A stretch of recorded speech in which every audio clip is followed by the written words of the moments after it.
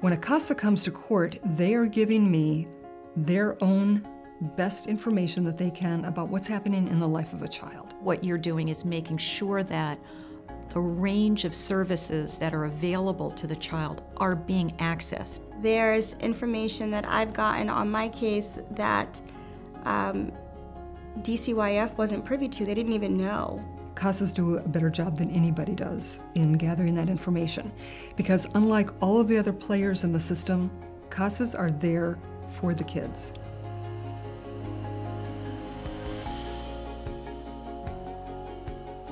When I had to be reporting on behalf of a child, I was nervous, but, but that's, that's a good kind of nervous. I did struggle and have to really think about is this something I can handle? Is this something I can cope with? My one drawback was how am I going to fit this into my own world? Am I going to know the lingo? Yeah, that was a that was a major. So, once I did my first report, I got over that. When you're in it, you know, all that all that all those like butterflies and nervous anxiety, all that stuff goes away. I'm stronger than I thought I was, and, and most of us are when we're helping a child. Once I had the training and I was in the building, I was excited to see what comes next. You felt comfortable and ready, but you also knew that you had an incredible amount of support. From Marcia Sink to the receptionist, if you have a question, someone will answer it for you. What CASA volunteers find as they do this work is that they feel very empowered to make some of the recommendations that they make, to stand up at the courtroom and speak on behalf of a child.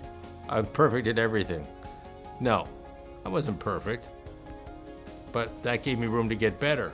And that's what feels good, is getting better at something. Becoming a CASA is maybe more empathetic.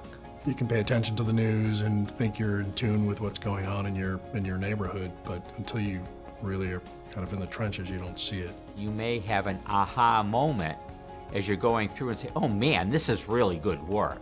I always go away feeling good.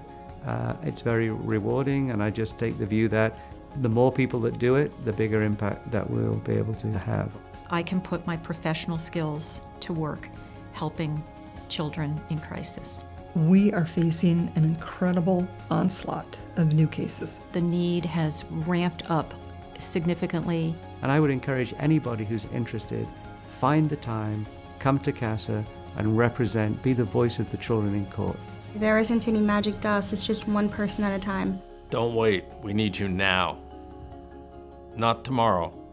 Now.